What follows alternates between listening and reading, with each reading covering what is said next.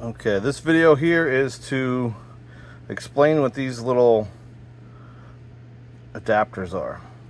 What they are made for is for replacing injectors like old GM injectors or some marine applications that have this style injector which are complete pieces of garbage and you wanted to use a newer style injector similar to this here.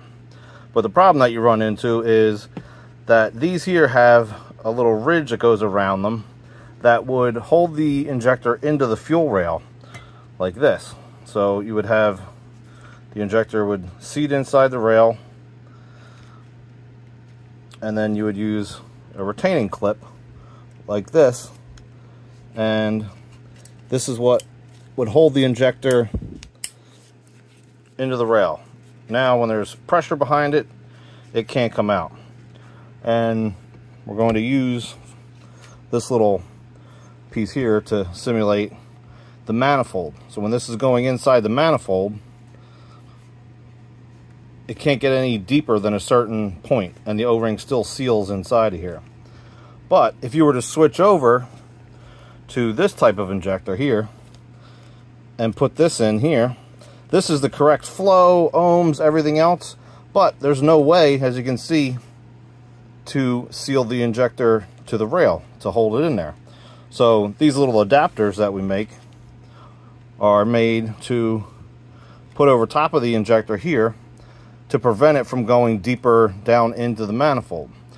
So there's two different heights that we sell depending on which application you have, which injector they're going on to. They can even be used on these EV14 injectors and again, they're just to stop the injector from being falling into the manifold. So you get the same kind of results as using a clip, but because you can't attach that clip onto this type injector, the injector has the ability under pressure to kind of come further down. And then what that would do in the case of, you know, the injector, the O-ring sealing on here, uh, let me pull this O-ring off of here. Put it onto this injector here. So we're to... Actually, I'll show you without the...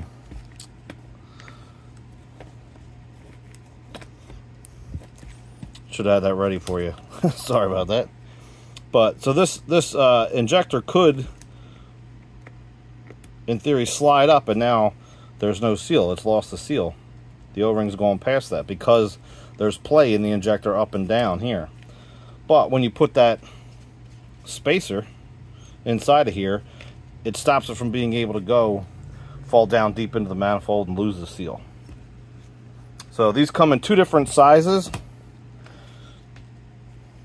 because depending on your application. So you got 4.2 millimeter.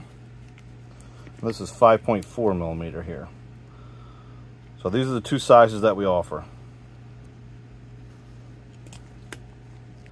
These also could be used on applications where if you were to take like a uh, an injector and modify it from being the uh, larger 14 millimeter and you milled it down to be able to fit to make it like a um, an import size injector and now you've taken away that groove again just like as if you used a different type of injector that doesn't have the groove built into it see a lot of the newer ones do have that same groove but there are some applications that that don't have that. And it is the right injector. It's just missing that one piece. That's the only thing that's missing.